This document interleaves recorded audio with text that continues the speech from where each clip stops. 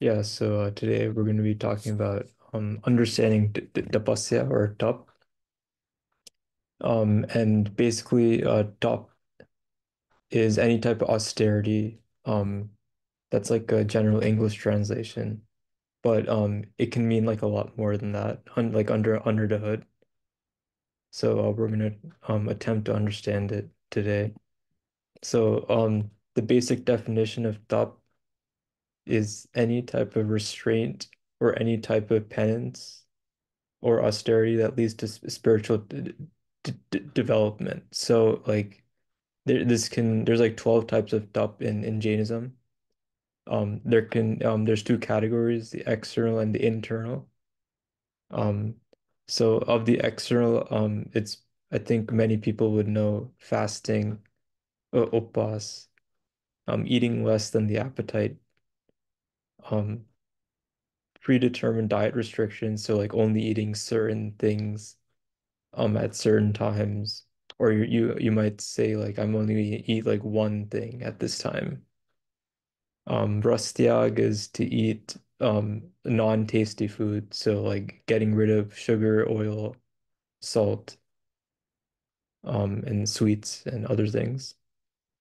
And then Kaya Klesh is uh voluntarily tolerating um hardship. So like that means like sometimes like um you could be sitting um under a tree and there could be like a lot of sunlight.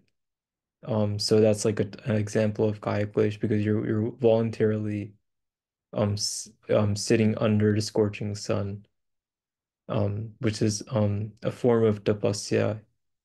Um, as long as um you do it in a certain way, which we're going to talk about later. Uh, Sanlinta is um is it's like an interesting one because it's not really talked about that much. But if you um let's say you like you hold a posture for like a long period of time, or like at least like 30 minutes without moving, um, that's actually that's Sanlinta because you're holding a very tight position and you're controlling all your senses.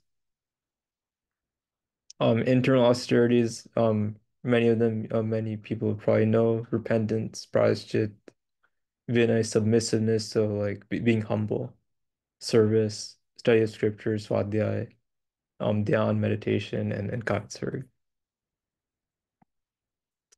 So, um, one question that many people people have is how does not eating cause spiritual development? Um, and that that is basically um, it's sort of like an like a self-imposed hardship that you give yourself, and it gives you like an opportunity to exhibit calmness.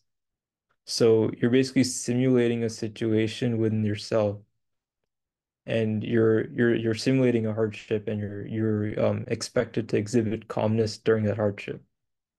and that's what causes you to grow spiritually or like um burn karma and um some things to not do um to get the maximum results or to get any result is you should not um seek any worldly fulfillment from the tup um no like you can't get like pleasures from it.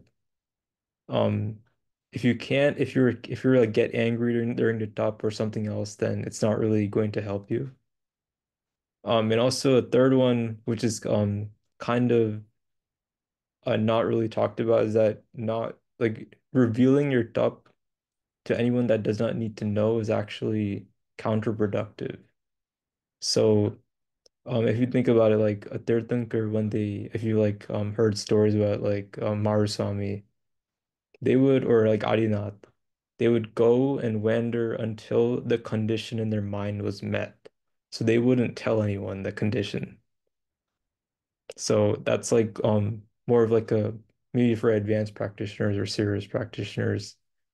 Um, but that's like the the uh, like the original way of doing top.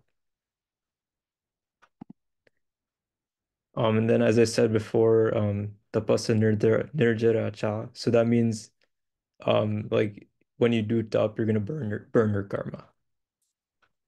And that's like a reference from Tat- Tat- Tattvartha Sutra. And that's all I have for. Thank you.